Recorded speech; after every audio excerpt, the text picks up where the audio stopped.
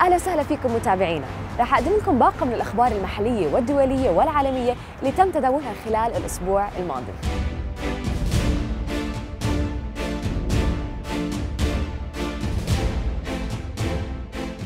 عقد جلالة الملك عبد الله الثاني ظهر الأربعاء. لقاء قمة مع الرئيس الفلسطيني محمود عباس في قصر الحسينية بالعاصمة عمان بحضور ولي العهد الأمير حسين في إطار التشاور والتنسيق المستمرين بين القيادتين الأردنية والفلسطينية وأكد عباس رفض صفقة القرن اللي ستطرحها الولايات المتحدة الأمريكية وتأتي القمة في مرحلة حرجة للغاية إزاء ما يتردد حول ما يواجهه وجود وعمل وكالة الأمم المتحدة لإغاثة اللاجئين الفلسطينيين الأونروا من تحديات ضمن سياق ما يسمى بصفقة القرن الأمريكية.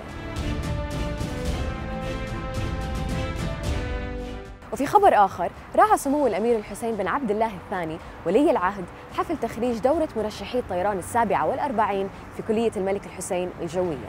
وقام سمو ولي العهد بالتفتيش على طابور الخريجين اللي استعرض من أمام المنصة بنظامي المسير البطيء والعادي وقلد سمو الأجنحة للخريجين ووزع الجوائز التقديرية على الأوائل الفائزين.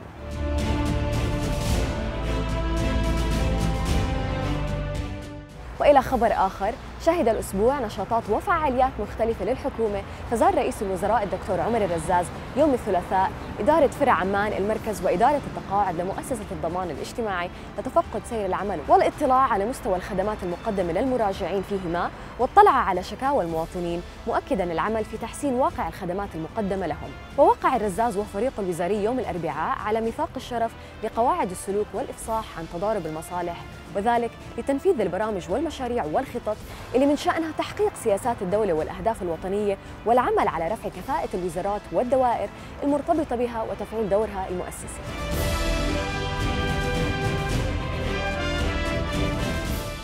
ومن الأردن بننتقل للبنان أنا تعافيت قاومت المرض وغلبته هكذا كشفت الفنانة اللبنانية إليسا عن إصابتها بمرض سرطان الثدي يوم الثلاثاء وحكت عن تجربتها في أغنيتها الجديدة تحت عنوان إلى كل اللي بيحبوني. ونشرت إليسا الفيديو كليب لأغنيتها الجديدة عبر حسابها على موقع تويتر اللي فيه مقاطع صوتية لإلها بتتحدث وهي بتبكي عن إصابتها بمرض مميت وتبين خلاله كيفية تعاملها مع الأمر.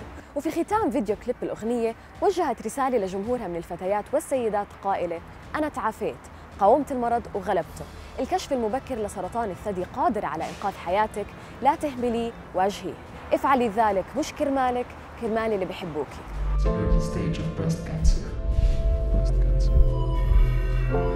بتعرفي لما تقولي إنه رح أرجع أشوف كل هالعالم العالم بتحبني بحبوني إنه هيك في لحظه خلاص إنه you won't exist tomorrow.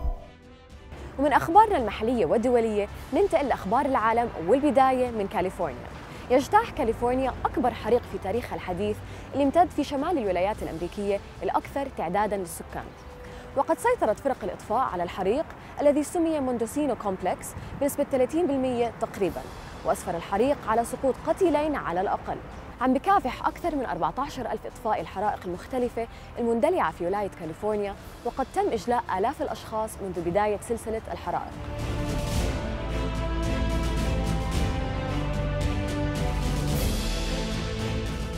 من كاليفورنيا لإندونيسيا وجزيرة لومبوك تحديداً.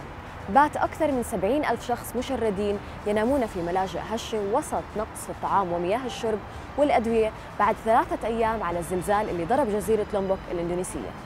وأدى الزلزال بقوة 6.9 درجات اللي وقع مساء الأحد إلى مقتل ما لا يقل عن 105 إندونيسي مثيراً مشاهد ذعر بين السكان والسياح.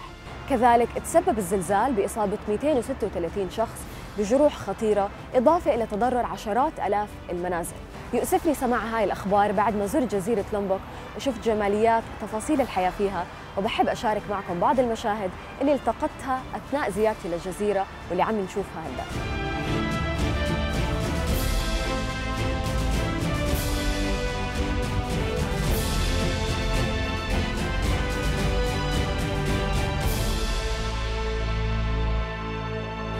الاخبار اللي اخترت لكم إياها لهذا الأسبوع وبلاقيكم الأسبوع القادم بأخبار محلية دولية وعالمية جديدة ومنوعة.